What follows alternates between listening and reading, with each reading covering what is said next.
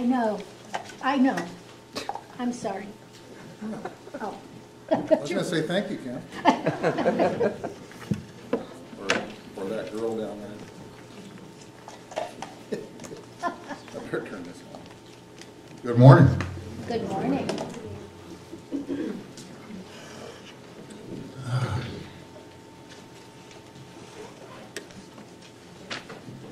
Fitting that the way God puts things together, like the music this morning and the children's sermon this morning, and the focus quite a bit on prayer through all of that. Uh, Let's start off with a word of prayer. Dear Lord, we, uh, we thank you for being with us this morning for giving us an opportunity to come and praise and honor and glorify you. To possibly uh, receive a little more revelation of who you are. Lord, we're just humbled by your love for us. And dear Lord, don't ever let us take that for granted. We thank you this morning again for your presence, for your Son, and for the Holy Spirit. In Jesus' name, amen. Many of us are familiar with Philippians 4 6, which says, The Lord is at hand. Do not be anxious about anything, but in everything, by prayer and supplication, let your requests be known to God. We've already talked about that. And if we were to ask ourselves today, are we totally satisfied with our prayer life? How many of us would respond positively, yes, I pray as much and as well and as often as I should? I don't. If we're all honest for a moment, most of us would have to admit that probably we don't spend enough time in prayer. We don't pray enough fervently enough, reverently enough. Many times we don't spend enough time in or enter into prayer in the right posture. For most people, prayer is often generated by anxiety, health problems, financial troubles, loved ones in trouble, some sort of hardship. Sometimes people will even approach someone that they feel is more religious than they are to pray in their stead. For many, it is an uncertain attempt to communicate with an unknown God. It can lead to frustrating results, which in turn can lead to a further diminished prayer life or even giving up on prayer altogether. So at this point, you may think I'm leading into a how to on prayer. And that's not the case. I think we need to look to Scripture, and particularly at Jesus, to discern the dilemma over an unsatisfactory prayer life.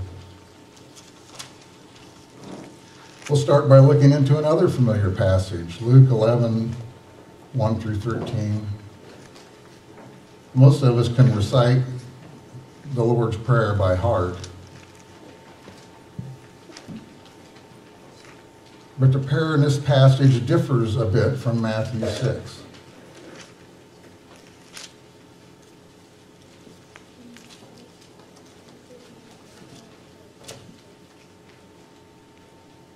In Luke 11, now Jesus was praying in a certain place, and when he finished, one of his disciples said to him, Lord, teach us to pray,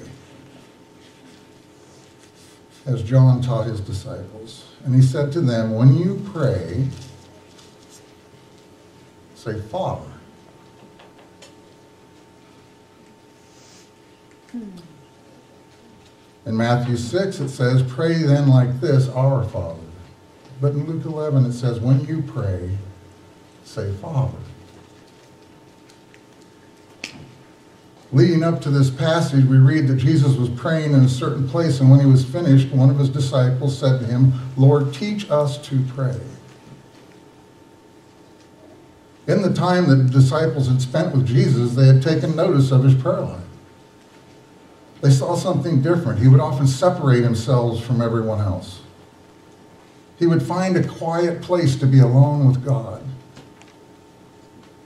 God the Father. And he would pray at length, sometimes overnight. And when he was done, he was refreshed and restored and renewed. Seeing this, the disciples wanted to experience what Jesus was experiencing with his prayer life, leading to that request Lord, teach us to pray. Notice they didn't say, teach us how to pray. I don't believe they were asking for a method. I rather believe they were asking, Lord, teach us, hmm. give us the desire you have for prayer. To get to the place where we desire to and actually spend more time in prayer, beyond talking about it, knowing about it, beating ourselves up for failure to do it. We need to have a greater desire, greater than our obstacles that keep us from it. We need to have that desire for a regular, fervent, and reverent attitude of prayer. To seek repentance and restoration. To seek renewal and to receive it. How do we go about creating this desire? Well, I believe Jesus gives that to them in verse 2. When you pray, say, Father. This time more personal than in Matthew 6. Not our Father. This time, just say, Father. More than anything else, knowing that God is your Father is the key to building a desire to pray. The more that we grasp that Father is just not a title of respect, but that He is really our Father, the more inclined we are to desire to communicate with Him, to spend time with Him, and to do that on a regular basis. When I was a child, the times that I got to spend alone with my Father, usually fishing or hunting or something along those lines. But the times that my three brothers weren't there, it was just me and my father. Those were some really special times.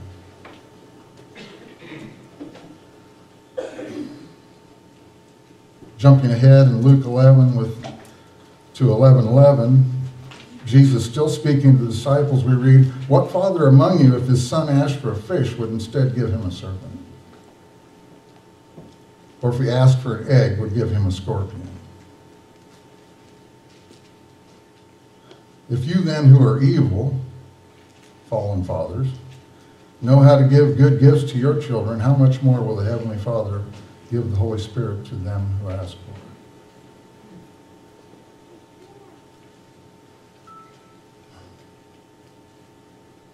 The first and last words Jesus speaks to them in response to their question, Our Father and your Heavenly Father,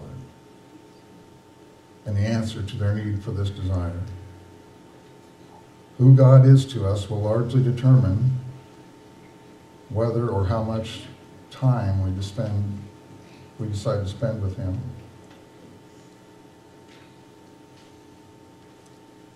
Do we appreciate the love that God has for us enough?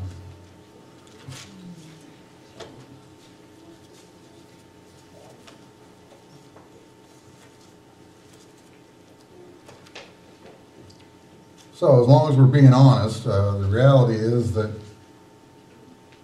most of us seldom devote enough time to prayer. Is God kind of the, we know He's there, He's a title, He's our God, but He's uh, kind of removed. A higher power that we call on when we need Him, or maybe He's a little bit of a tyrant to us because He wants everything we have. And I just really don't want to give up all of it. Maybe we lack that relationship with Jesus. You know, the one we place our faith in Him and it opens our eyes to know God, to know Him as our Father, a Father who loves us right here, right now, which fosters His desire in our hearts to draw nearer to him through prayer. Jesus himself told us that I and the Father are one. We need to know Jesus to know the Father. Learn how to be a father by looking to God. We all know John 3.16 and what he's done for us. And if we want to know what a father looks like, God can help us. We can also look at what, what God the Father is by looking what it means for us to be a father. Look at our own experience. Even in this world of fallen fathers, think how much your children mean to you or mean to me. You'll start to get a handle on what we mean to God. Only three people in this world can call me dad. Two sons, one daughter. And if I picked up my phone, which you can do today out of your back pocket, right? And I had a whole list of messages being sent to me from people. And one of them was from one of my children. Which one do you think I would answer first?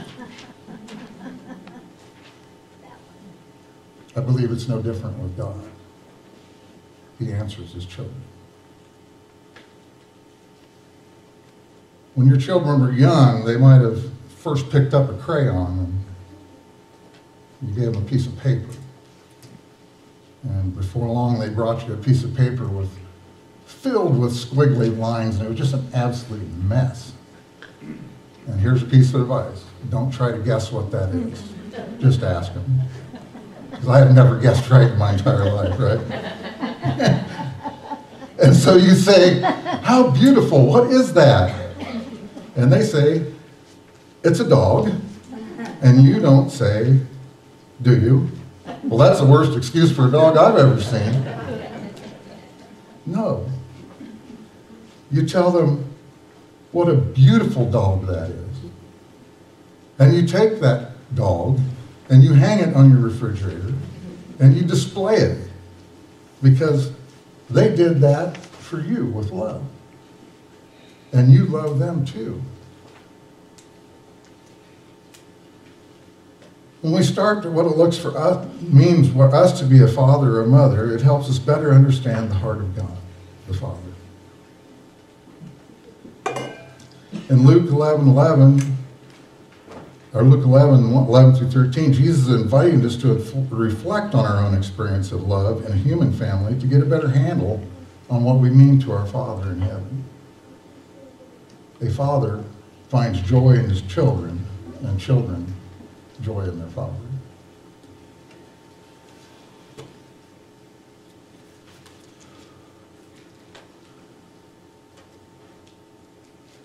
Luke 11, 13 again, if you who are evil, we know what evil means, we're fallen fathers, we're sinners, know how to give good gifts to your children, how much more will the Heavenly Father give the Holy Spirit to those who ask Him? We cannot give what is beyond our capacity. God has no capacity. He has no limits. Just as we are always in our children's corner, even when, and especially when, things are at their worst, because they are our children, God is the same.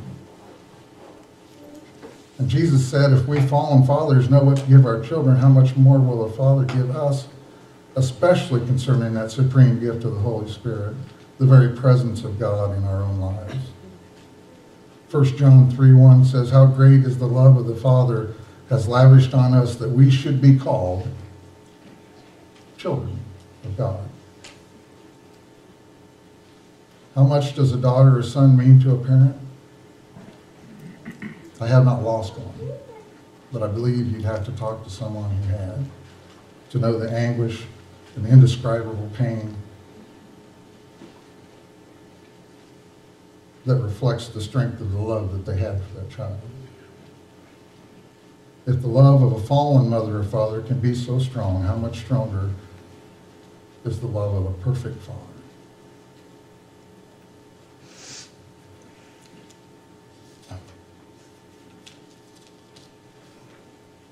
Sorry, I'm not very organized.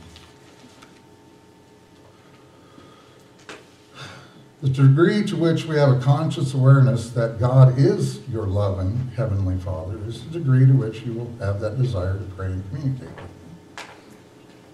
This is where the desire emanates from. If you know God loves you just a little, then you just pray a little.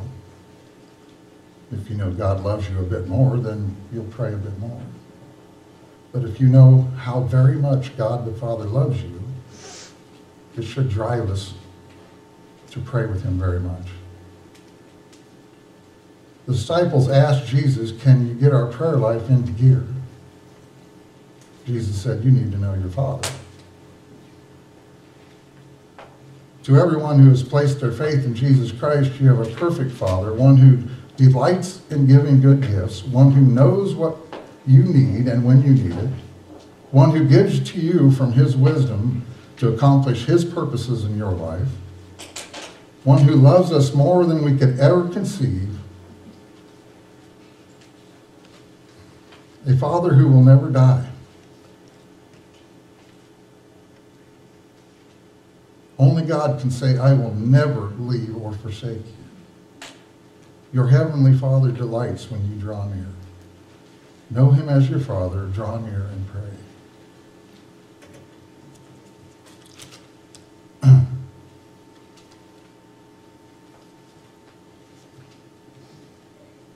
So, maybe someone needs to know how does God become your father?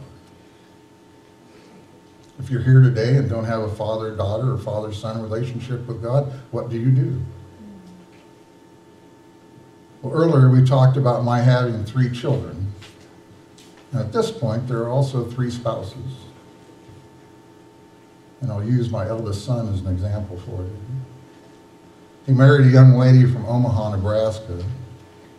I did not know her. The only things we had in common was uh, being human and U.S. citizens.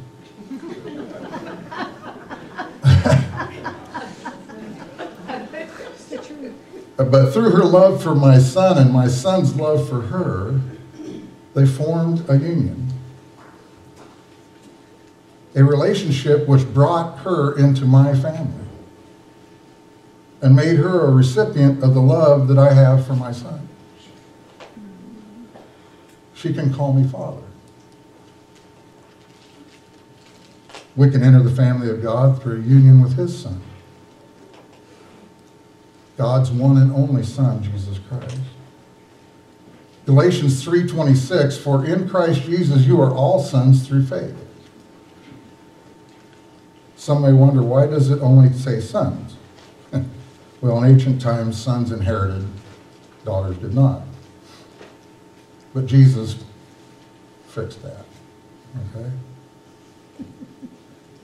In scripture this distinction is abolished all inherit the work of Christ.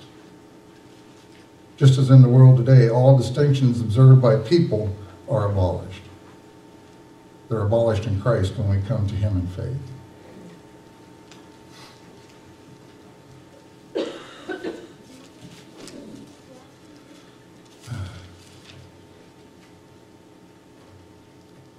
John 1:12 he says but to all who did receive him who believed in his name he gave the right to become children of God.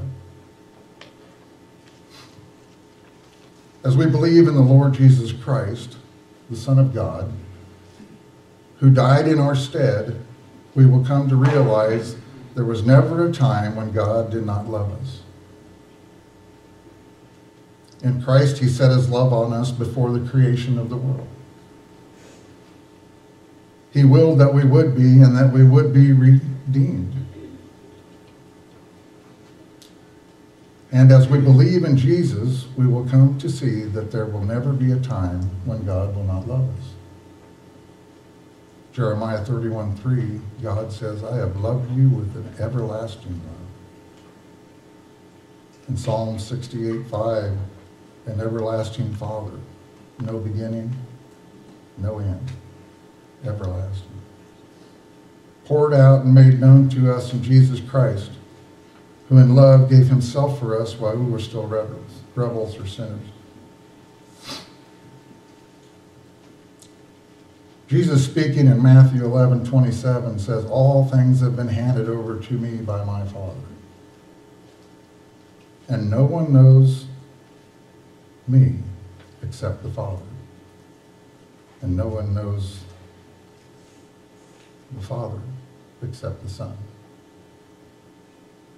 And anyone to whom the Son chooses to reveal to him. Jesus is not standing around waiting to join our already crowded life. He is looking for people who realize their condition and with childlike humility are open to his revelation of their need for repentance and through faith, their submission. The call to surrender to Jesus' lordship is essential to his invitation to salvation. Those unwilling to take his yoke cannot enter into a saving rest, a rest that he offers. We can't just be towing around a wagon full of sin and self and toss Jesus in there.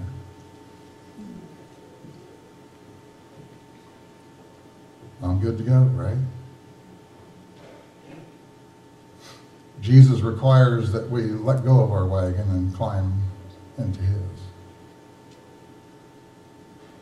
That we give up these things that we deem so important and focus on him. Stan talked a little bit earlier about knowing God's will. You want to know God's will? Then know God. Develop that relationship with the Father and you will know his will. I could pretty much tell you what my father was going to do, say, or react in any given circumstance that we came up against. I could also tell you what he'd approve of me doing and not approve of me doing. It is no different with God the Father. If you know him, you will know what he wants and what he does not want. That is God's will.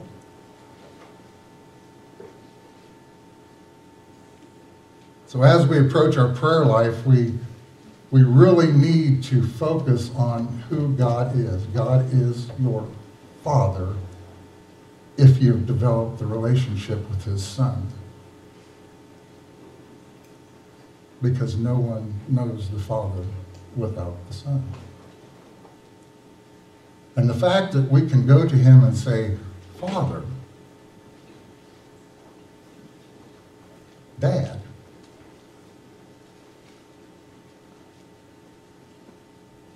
I got something I need to run by you.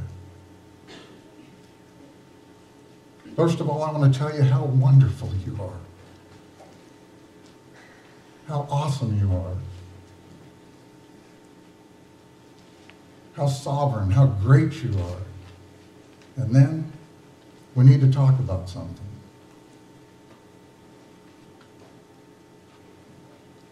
That's a pretty awesome fact right there that we can go do that. And the fact that we don't do it enough is not because he's not open to it.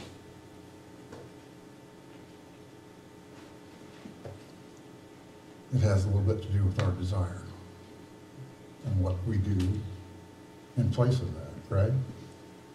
I'm not here to chew anybody out. I'm totally in that boat, okay? My prayer life could use some work. But here a while back in ABC, we did, uh, went through the Lord's Prayer. And we were using Matthew, and when I turned to Luke and I read the word Father instead of our Father, I was like, yeah. My Father. Yeah. And I just felt like maybe, uh, that was something we need to focus on a little more, so. Father, we thank you so much for being our Father. The God who created everything.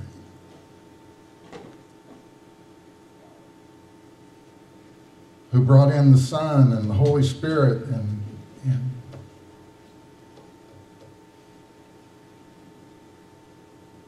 knows all, sees all, no start, no end. Can we wrap our little minds around something like that?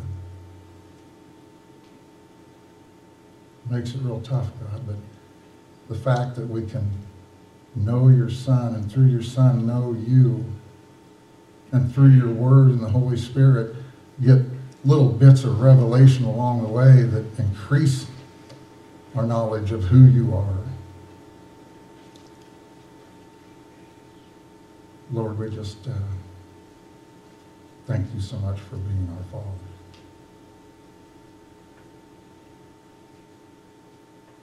We do need to approach you more often. We do need to uh, consult you more in our plans. We make a lot of plans, Lord. And our plans always sound good until we get slapped in the face, you know. Maybe more often we ought to include you in our plans.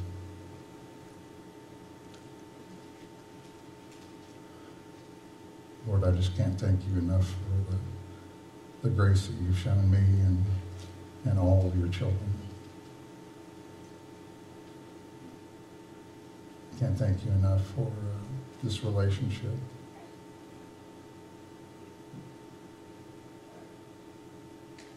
One day we will experience your saving grace.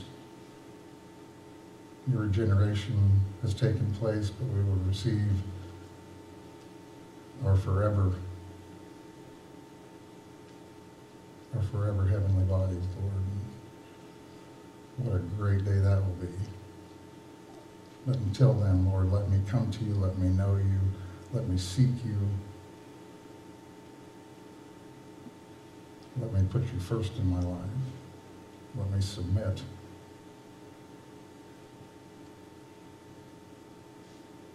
And draw closer and closer to you. We pray that in Jesus' name. Amen.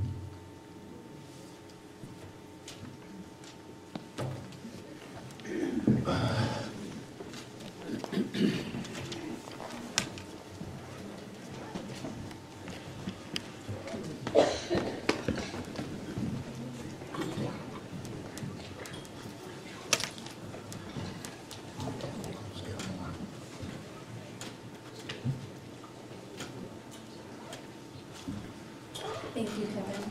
Will you please stand as we close our worship together?